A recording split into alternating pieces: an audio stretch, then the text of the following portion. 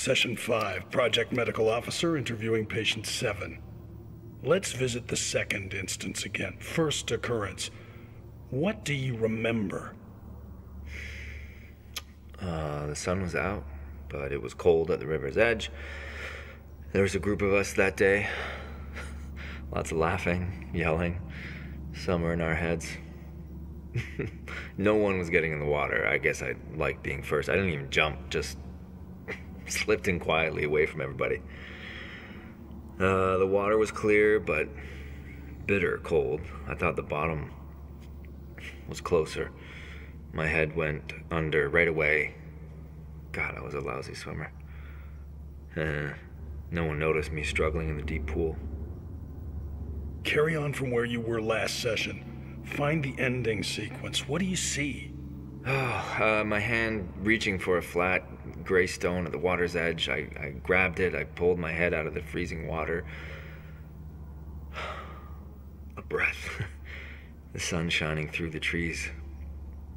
Above us was. Was the sun out? I thought. Uh, the rain. No, no, no, no. Uh, that, I don't know. That, that, that wasn't it. Keep hold of that image.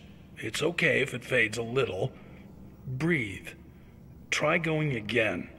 Second instance. Did I say I hate being cold? Because I really do.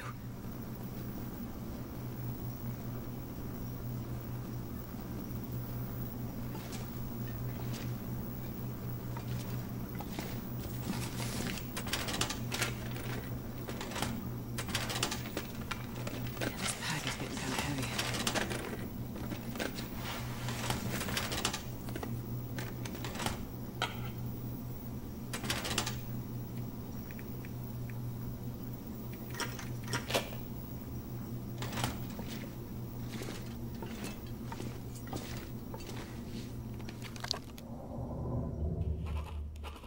The mine is a real shithole. If my job is to shepherd the men, then their job is to keep the roof from landing on all of us. But this week we found a decent chamber to start building Rudiger's gadget. Teams 1 and 2 are with the program, but on shaky ground. Team 3 is getting volatile again. And while it's unclear what they have planned, I've called for additional security to fly in immediately. The medical officer has been conducting alignment interviews and has made some troubling observations. I'm still considering the implications, both for the men as well as project viability. My hope is that the crew can keep their shit together long enough to finish phase one, and we can get out of this godforsaken place. It's starting to get to me.